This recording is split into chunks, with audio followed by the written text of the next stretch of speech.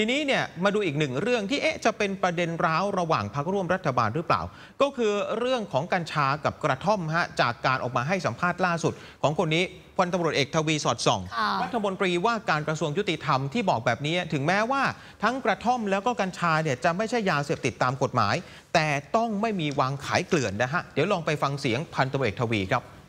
หน่วยงานการแก้ปัญหายาเสพติดเราทำจริงจัง และให้หนึ่งปริมาณการค้ายาเสพติดต้องลดลงหรืออาจทำให้หมดได้ยิ่งดีประเด็นที่สองก็คือ ลดจำนวนผู้เสพผู้ใช้นะก็ลดผู้ติดใหม่ แต่เรื่องเรื่องมันมีเรื่องทางเทคนิคที่สำคัญก็คือปัจจุบันถึงจะแก้ไขตรงนั้นเกือบหมดแล้ว ปรากฏว่ามันมีพืชบางชนิด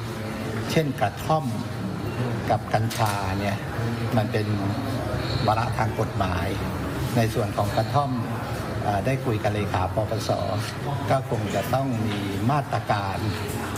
ไม่ใช่ให้วางขายเกลื่อนประชาชนยังเห็นว่าเป็นอันตราย โดยในเฉพาะ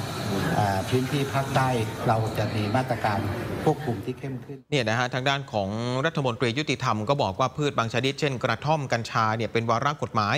ส่วนของกัญชารัฐมนตรีสาธารณสุขกำลังดำเนินการเรื่องนี้ ส่วนของกระท่อมก็คุยกับเลขาปปสว่าคงต้องมีมาตรการ ไม่ใช่ให้วางขายเกลื่อน แม้เราจะจัดการเรื่องยาเสพติดที่เป็นยาบ้าตัวอื่น ๆ ไปแล้ว แต่ความรู้สึกไม่ปลอดภัยในกระท่อม ประชาชนยังเห็นว่าเป็นอันตราย โดยเฉพาะในจังหวัดชายแดนภาคใต้ต้องมีมาตรการควบคุมที่เข้มขึ้น เพราะฉะนั้นจับตาว่าจะเป็นประเด็นร้อน ระหว่างพักร่วมรัฐบาลหรือเปล่าอย่างเรื่องกระท่อมเนี่ยค่ะอันนี้ก็เป็นผลงานของคุณสมศักดิ์เทพสุทินอืมซึ่งก็เป็นแกนนำพักเพื่อไทยนะครับเรื่องของกัญชาก็เป็นผลงานของพรรคภูมิใจไทยค่ะในขณะที่พันตำรวจเอกทวีนั้นเป็นหัวหน้าพักประชาชาติ เพราะฉะนั้นจับตากันต่อกับประเด็นนี้นะฮะ